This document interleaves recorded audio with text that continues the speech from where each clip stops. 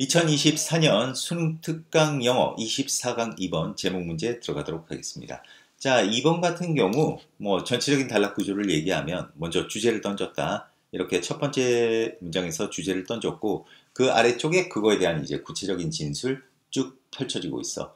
그리고 변형 문제에 조금 대비를 한다 그러면 이 우리 문장 넣기, 문장 넣기는 these four symbols 바로 이 부분이 있지 이 부분 문장 넣기 대비했으면 좋겠고 그리고 구체적 진술 안에서 나름대로 조금 핵심이 되는 부분은 이렇게 선생님이 빡친 부분이라고 하겠습니다. 그래서 이 주제문이라든지 아니면 구체적 진술 속에서 선생님 빡친 부분 이런 부분에서 빈칸 문제 대비 또 잘했으면 좋겠습니다. 자 그러면 일단 들어가 보겠습니다. 자 만약 어, 외부인들에게 지역사회의 어떤 매력의 일부가 그것의 문화적인 어떤 유산과 그리고 전통이라면 그러니까 여기서 이제 문맥상에서 외부인이라는 것은 이래 관광객들이 되겠지. 그러니까 다른 말로 좀 쉽게 얘기하면 관광객들에게 있어서 어떤 매력을 끄는 그 일부가 문화적인 어떤 유산과 전통이라면 그것은 will likely change. 바뀔 것 같습니다. 시간에 걸쳐서. 그러니까 시간이 지나면서 바뀔 것 같대. 그런데 frequently, 종종 not for the better, 더 좋은 쪽으로 바뀌지는 않을 것이라는 거야.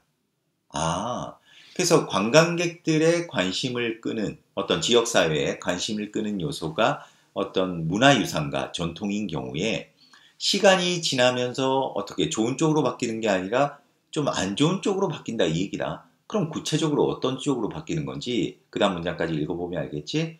바로 상징들이지. 역사적 문화의 상징들이 may be pervasive, 널리 퍼져 있을지도 모릅니다. 넘치고 있을지도 모릅니다. 하지만 오직 in a make-believe form, 가짜 형태로만 넘칠 것입니다. 아, 이게 문제라는 거네. 그러니까 한 지역사회가 관광지로 유명해졌다고 쳐. 그런데 예를 들어서 뭐 우리나라로 치면 뭐 경주 이런 곳 아니겠니? 그런데 그곳의 역사적인 문화의 상징들이 가면 갈수록 이제 관광지로 활성해지다 보면 막 넘쳐난대. 어? 막 경주에 관련된 어떤 역사적인 어떤 그런 것들이 막 넘쳐나는데 그런데 결국에는 어떻다? 진짜가 아니라 가짜가 판을 치게 된다. 좀 이런 의미의 접근법이라고 봐야 되겠지. 자, 그러니까 이게 문제점이라는 거야. 사실 이게 주제문이고 그래서 아래쪽에서 이제 구체적인 진술이 펼쳐진다. 자, 관광 샵들은 작은 태평양 섬에 있는 관광 가게들은 sell replicas. 바로 원주민 예술 작품의 복제품을 팔지도 모릅니다. 자, 그런데 그 모든 것은 turn out. turn out이 타동사로 쓰이면 이게 뭐 만들어내다, 생산하다 이런 뜻이다. 여기서는 o를 뒤에서 수식하는 pp 형용사로 봐야 되겠지? 그러니까 만들어진 모든 것이야. 어떻게? In huge quantities. 대량으로. 누구에 의해서? 세상의 다른 지역의 제조업자들에 의해 대량으로 생산되어진 이 모든 복제품들을 팔지도 모른다는 거지. 그러니까 태평양 섬의 이제 관광 상품점에서 뭐 기념품점에서 팔고 있는 물건이 그 섬에서 만든 게 아니라 어떤 뭐 중국이나 뭐 인도나 이런 곳에서 대량으로 만들어진 그런 상품들이라는 거야. 자, 플라스틱 Black Forest clock 그리고 스위스의 music box 이런 것들이 제공되어집니다. 관광객들에게. 그런데 그것들은 그러한 뭐 Forest clock이나 스위스 music box 이러한 것들은 대량 생산되어집니다. 바로 대만 또는 중국에서 대량 생산되어진다는 거예요. 자, 어떤 책무, 뭐에 대한 장인 정신과 진정한 지역 문화유산에 대한 어떤 책무, 또는 어떤 이러한 약속 이런 것들이 사라지게 됩니다. 그러니까 나름대로 장인 정신을 가지고 기념품이라고 하면 그 지역의 어떤 원주민들이 만든 뭐 이런 게 있어야 되는데 그게 어떻게 보면 어떤 진정한 의미를 전달하는 거잖아. 그런데 그러한 진짜 문화유산 이런 것들은 점점 사라진다는 거지. 뭐 때문에? 바로 가짜 상품들, 이런 가짜 형태 때문에 사라지게 된다는 거야. 자, 그래서 이전 시대의 이러한 거짓 상징들이 기여합니다. 뭐에 기여하느냐?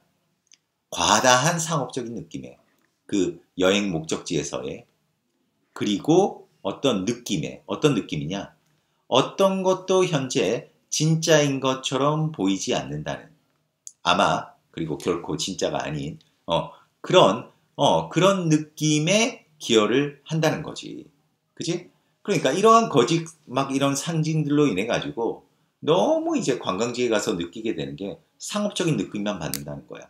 진짜 문화유산을 통해 가지고 느끼는 어떤 감동 이런 것이 아니라 그리고 야 이거 전부 가짜구나 하는 이런 어떤 것도 진짜인 것처럼 보이지 않는다는 느낌만을 받게 된다는 거지. 바로 이런 문제점이 발생된다는 거야. 그런데 이러한 문제점 속에서 위험은 놓여 있대. 뭐에 놓여 있느냐? 그 주민들에 의한 어떤 개인적 정체성의 정체감의 상실의 위험이 있다는 거야. 자, 그리고 또 뭐에 있느냐? 바로 느낌. 그, 그들의 과거와 단절되어진다는 느낌의 위험이 존재한다는 거지. 자, 이런 가짜 상품이 판치는 가운데 어떻게 된다? 그곳에 사는 주인들이 정체성을 잃어버리게 된다는 거지. 그리고 또 자신들의 이전 그 조상들과의 단절감을 느끼게 된다는 거야. 자, 그래서 그들의 문화유산과 문화는 현재 less significant, 덜 유의미하고 덜 중요한 것처럼 보입니다. 자, 그러니까 그것은 주로 무슨 역할을 했니? 바로 여기서 그것은 이거다. 그들의 어떤 문화유산과 전통이 문화가 무슨 역할을 했어? 바로 상업적인 천병 역할을 했다는 거야. 그런 그 관광객들에게. 근데 그 관광객들은 어떤 관광객들이니? 바로 값싼 장신구를 구매하고 그리고 전문적으로 무대에 올려진 만들어진 연출된 쇼를 본다라는 거야. 근데 그 쇼는 어, 시도한데 recreate 그 문화적인 관행 또는 역사적 사건들을 재현하려고 시도하는 그런 어떤 뭐 전문적으로 연출된 그런 쇼를 보는 관광객들에게 그냥 단지 상업적인 천병으로서만 역할을 하게 된다는 거지. 이런 것이 큰 문제점이다. 라고 이 단락에서 마무리 짓고 있는 그런 단락이라고 하겠습니다. 자, 그래서 답은 뭐가 되니? 답은, 어, 답은 이거겠네. 관광업의 어떤 거짓, 거짓된 관광이 원주민 문화의 가치를 떨어뜨립니다. 바로 답은 3번이 된다고 하겠습니다. 뭐 답 찾는 건 어렵지 않았을 거다. 그런데 이제 선생님이 서두에 언급했다시피 이 단락은 변형 문제는 빈칸 문제 추천해. 그래서 빈칸 문제는 뭐 이런 부분이 좋잖아. 뭐 예를 들어서 그것의 문화유산과 전통이 이제 바뀌는데 어떻게 바뀐다고? 좋은 쪽으로 바뀌지는 않을 것이다. 그러니까 다른 말로 그 역사적인 문화의 상징들이 널리 퍼져는 있는데 단지 가짜 형태로만 퍼져 있다. 이런 부분들. 이런 부분 빈칸 괜찮고 그리고 아래쪽에서 빈칸 좋은 부분은 이런 거 괜찮은 것 같아.